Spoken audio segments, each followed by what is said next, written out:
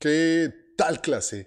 En el video de hoy les voy a enseñar cómo utilizar un smartphone como su webcam. Esto lo pueden utilizar para hacer streaming, para hacer videoconferencias utilizando esa cámara o simplemente para tener una cámara móvil o para, hey, si quieren hacer streaming de sus juegos en mobile, mobile, mobile, móviles. Los pasos son muy sencillos, les voy a explicar qué aplicación necesitan descargar, cómo, configurarlo y les voy a hacer una muestra. Vamos a comparar cómo se ve contra una Logitech 920 y contra una Canon DSLR. Así es que, acompáñenme.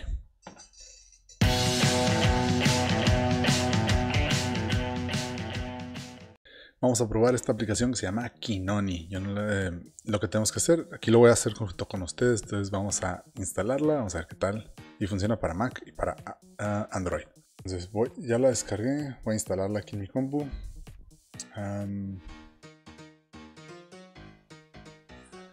ok, aquí están las diferencias entre la versión Pro y la versión gratis. Básicamente tenemos conectividad por USB, lo cual es bastante bueno. La versión gratis lo tiene para iOS. Ah, no tienes micrófono en la versión gratis, no tienes zoom, no tienes focus, flashlight. Puedes probarla utilizando la versión gratis, que es lo que yo voy a hacer. Y aquí les voy a mostrar, voy a descargar la aplicación en App Store. Ahí está la versión gratis, verde, y la versión que cuesta 8 dólares. En este momento voy a utilizar la versión gratis solo para hacer la muestra. Pues simplemente tienes que abrir tu aplicación de Hippocamp Viewer y ahí está. El teléfono como una webcam directamente. Es la aplicación, entonces yo la puedo creo que mover. Una vez que ya haces el review les va a aparecer ahí el, botón de hasta arriba para cambiar a la cámara frontal.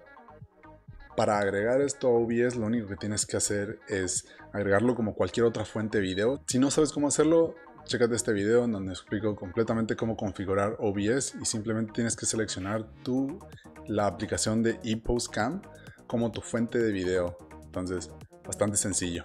Vamos a ver qué tal se ve ya que está configurado. Ok, clase, aquí está la comparación. Tres cámaras de tres diferentes niveles, tres rangos de precio totalmente distintos. Primero, en esta cámara, estoy apuntando, estamos viendo una Canon DSLR EOS M50. Básicamente esta cámara está costando alrededor de 500 dólares. Y pues sí, sí podemos ver que se ve mucho mejor la calidad. Pero tenemos aquí enfrente una Logitech 920. Esta cámara cuesta alrededor de 100 dólares o poco menos. 80 dólares creo. Al menos cuando no está todo la oferta y la demanda hecha pedazos.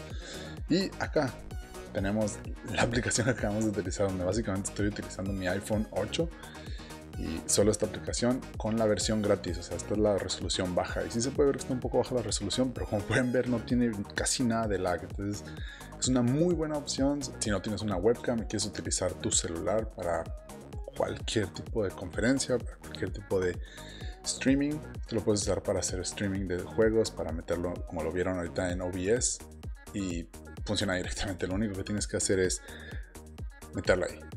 Como pueden ver, las tres cámaras tienen buena resolución y hay claras diferencias de calidad entre cada una de ellas, pero sean ustedes los que decidan cuánto están dispuestos a gastar en la calidad que quieren obtener.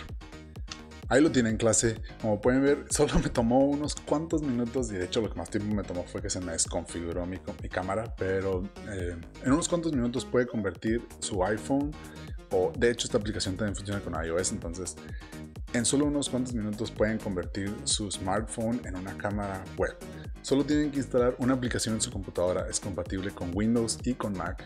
Después de eso, descargar una aplicación en su smartphone.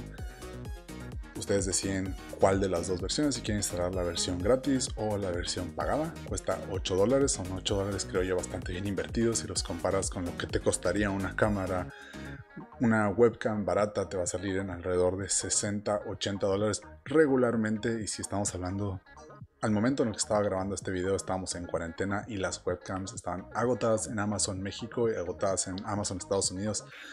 Entonces la única manera de conseguirlas es a través de eBay y están muy altos los precios.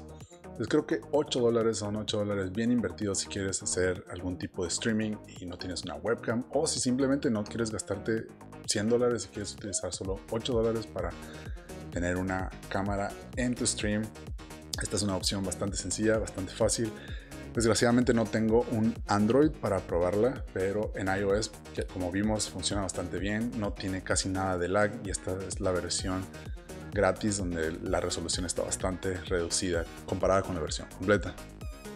Espero que les haya gustado este video y sobre todo espero que les haya sido útil, que hayan aprendido algo y que lo empiecen a utilizar en sus diferentes streams. Si les gustó y lo van a utilizar, no olviden dejar un comentario, cuéntenme cómo les fue con su experiencia. Si les ha gustado la clase, ya saben, dejen ese like para que más gente conozca de estas clases.